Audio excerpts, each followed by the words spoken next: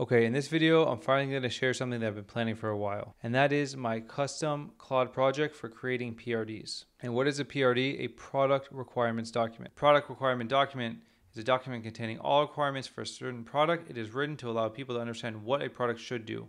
And the way this works is a Claude project that uses custom instructions, that uses multiple MCP servers, and also uses the latest Claude 3.7 thinking model. I think this will be incredibly useful for anyone that's trying to build anything, either with AI or with regular old humans. And just a quick background on me I've been in tech for over 10 years. I was a founder, a product manager, a consultant. I worked in privacy, I worked in accessibility. I've also worked closely with startups from guiding them from ideation to launch on various products. I've been helping individuals and businesses integrate AI into their workflow. And right now, I really think I'm at the peak version of my Claude project for creating PRDs. And I've been refining and working on this project. It keeps getting better. Once MCP servers became a thing, I added sequential thinking, Brave Search, Tavily, file system, and fetch. And then last week, Claude released 3.7 thinking. I'm going to show you my latest iteration, my latest custom instructions. And what you'll get at the end of this process is a very well written PRD, a document that you can share with your designers, with your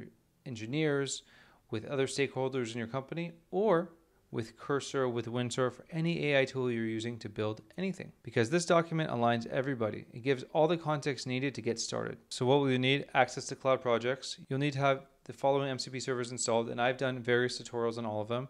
Sequential thinking, Brave Search, Tavily, Fetch, file system. And this setup is great for anyone who's trying to build with either AI tools like Cursor, with Windsurf, ChatGPT. And again, even if you're building anything with regular humans. Here's the thing, building anything, especially with AI, revolves entirely around context. But I'm not going to sit here and tell you you're going to be able to build anything with AI. There's a lot of hype and get rich quick to all that. I'm just going to show you how I do it and give you the tools so you'll be able to go on and build things by yourself. And the PRD is a living document. It's both qualitative and quantitative. And it evolves as more insights become available. It clarifies what you're building, why you're building it, who it's for, initial thoughts on technology and platforms, user stories, pain points, and the overall solution. What PRDs don't usually contain are the how. How we're going to build a product. It's more about what and why, and making sure that everybody's aligned and understands those things before you go forward and write a single line of code. That comes later. The way I look at it is just like asking clarifying questions. You want to get to the why, you want to understand everything, so then you can get a more holistic understanding of what you're trying to build. So then when you try and go out and build something, you're able to do it in a systematic, iterative manner without going all over the place. Oh, I want to add this feature. Now that I think about it, I want to add this feature. That might work, but is it efficient? Is it scalable? Will it drive AI or humans crazy? Yes. So, what I did was take my experience as a product manager, broke it down into a Claude project. And if you follow my channel, you know I love Claude projects. And what I do with Claude projects is I build a different Claude project for every task I'm doing. So, this is a PRD creator, which I've made multiple versions of. This is my latest one, PRD Creator 325, March 2025. I've iterated on it a lot. It's gotten a lot better with MCP servers and with Claude 3.7 Sonnet. And the way this works essentially is you just start talking to Claude. You give it an idea, you talk about it, about the product or the feature you want to build. We're actually going to do this with vibing, with using Mac Whisper right now to just verbally dump everything, and it will make our process even faster. And I made a different video on vibing or using AI dictation, it's going to be very useful here as well. And what happens is basically you start telling Claude what you want to build. Claude will ask you clarifying questions in a systematic manner to help you iron out what you're trying to build. And at the end of it, you'll come out with a PRD. And this PRD essentially acts as a single source of the truth so that you and your real life human team or your AI companion will be able to look back at this and understand what you're trying to do remember what the context is. Remember everything that needs to be considered when building the next feature or next line of code. So just to show you how this works, we're going to put together a PRD. And what I'll give it is my Chrome extension for creating a YouTube playlist without paying for YouTube Premium. So first of all, we're in the PRD creator, Claude project.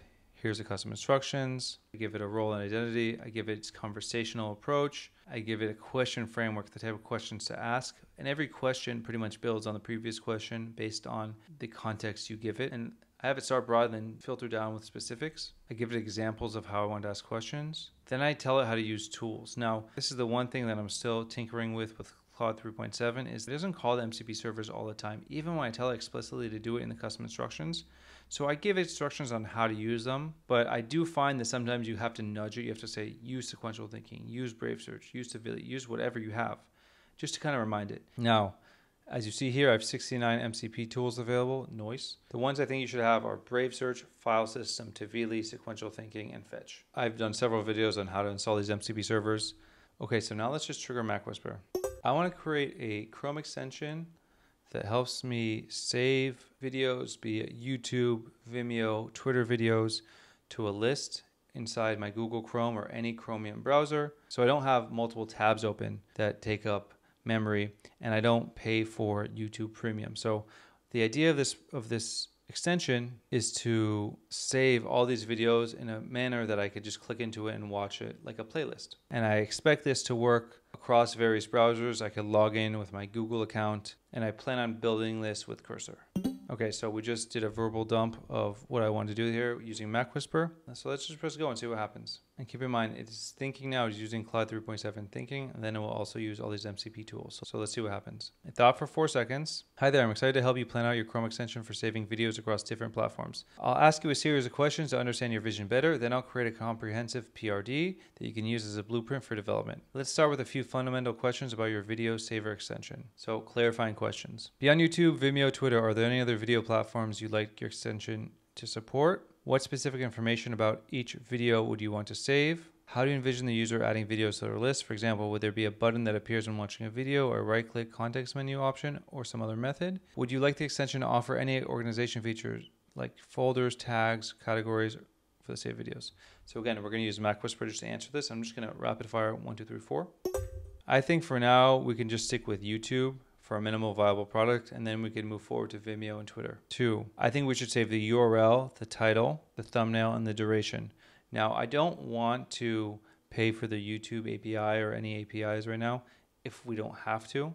So I'd like you to look into a way of doing this without signing up for API access. Number three, I envision the user right clicking the video and, and hitting a context menu button saying add to playlist. And for now, I don't think we need to deal with any folders, tags, or categories for saved videos. This is a great idea for a future feature. So I just dictated my answers back a lot faster than typing. And now let's just press enter and see what happens. Okay, so we have more questions. This gives me a clear picture of what you're aiming for with your video saver extension. Let me ask a few more targeted questions to further refine the concept. So you know what? I'm just gonna answer it as we go. I would like to open the original YouTube page when the saved video is clicked. Next question. Eventually, I'd like the extension to sync my videos across devices using my Google account, but for the first version, we can do local storage. Regarding the context menu, I'd like it to appear when clicking a YouTube video either as a thumbnail or in the video itself. And only then would it be able to be added to the watch list, to the playlist. For specific UI preferences for a proof of concept, let's just do a vertical list. And I imagine it having thumbnail, the title, the duration, and maybe also a numbered list so we know what number on the list it is. Regarding preferences on how the video should be stored or ordered in that list, I think chronologically as added, the newest one first. And as you see here, what it's essentially doing is asking me all these questions that when I first had my idea, I didn't didn't necessarily come to my mind. But if you plan all these things out ahead of time, you're going to have a much better time when you go out and build it instead of just thinking, oh, wait, I should add this. Okay, so now it's getting to technical. Okay, I'm going to go ahead and answer these questions. You can pause the video and see what the questions are. I just don't want to take too much of your time. Yes, I'm very comfortable with the extension using content scripts. If it's difficult to obtain the video duration without the API, then we can skip it for this version. Regarding the tech stack, I myself am not a developer. I will be building this with the help of AI. So I'm not sure the best tech stack for building this. So you can do the research using Brave or Tavily or sequential thinking to figure out the best framework for building this. Regarding additional features, I think it's a good idea to have the ability to remove a video from the playlist as well as a way to mark videos as watched. Regarding visual design, I just want it to be clean and modern looking. I don't want it to be too colorful. I like dark mode. As you saw there, I had to kind of push it to use sequential thinking and Brave Search. And that's the one thing with Claude 3.7. It doesn't always call the MCP servers as much as 3.5 did, so sometimes you have to nudge it, but that's fine. First, I need to analyze the requirements for this Chrome extension, parse YouTube, store videos, implement a context menu, support removing videos and making them as watch. So it's already taking all the information we've given it, more sequential thinking, Brave Search sequential thinking, and of course it's using its built-in Claude 3.7 extended thinking. Now let me consider the technical architecture of this extension. And because it used Brave Search, it saw Chrome now requires the newer manifest, which has different APIs and security modules compared to V2. Okay, thanks for the additional information. Based on our discussion and the technical analysis I've just completed, I now have a clear picture of your Chrome extension. Let me create a comprehensive PRD for your YouTube video playlist saver.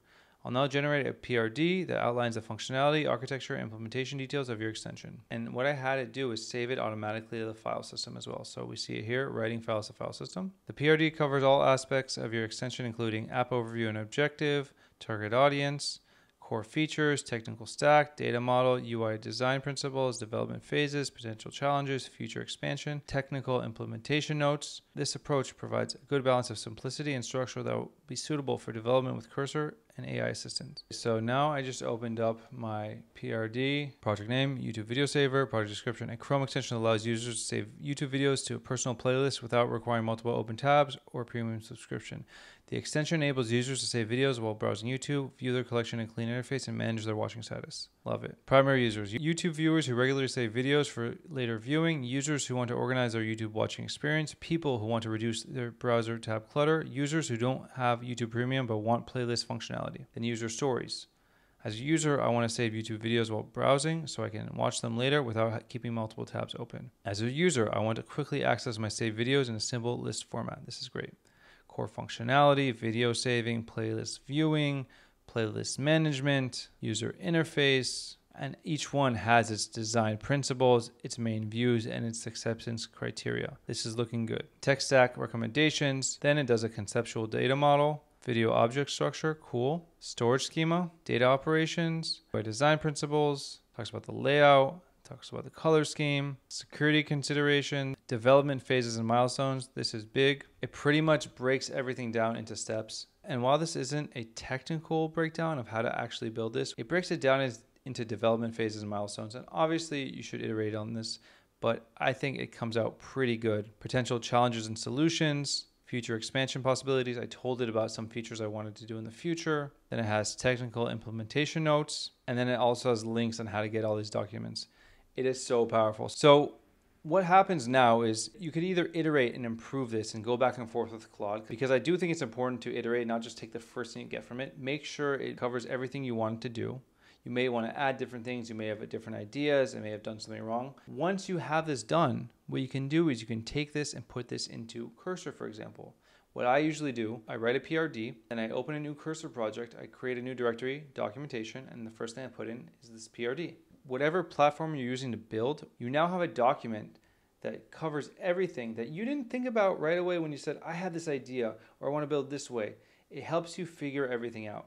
And maybe not everything, but it gets you 70% of the way there. So I will share my custom instructions and a uh, GitHub link below. I'm gonna share two different versions. I'm gonna share the one I've been using for the last few months, which I think is really good, and this newer version, which I'm still iterating on, but I think it came out pretty damn good. I have to say that the minute I started implementing this with everything I built with AI and really became systematic and iterated and tried to think about all the edge cases and the technologies and features I didn't think about and how, had AI help me plan this out, I became much more efficient and I was able to ship or just use my product a lot faster. So I think this is enough to start building with AI. If you have any feedback, any questions, if you think I should change it and you want to work on it and iterate on it, feel free, write a comment below. I want you to be able to take this and build good things with it. So if you learned something or you found this video helpful, do me a favor and like the video. If you haven't done so already, please subscribe to the channel. It really helps me grow. Thank you for watching. Happy building and have a great day.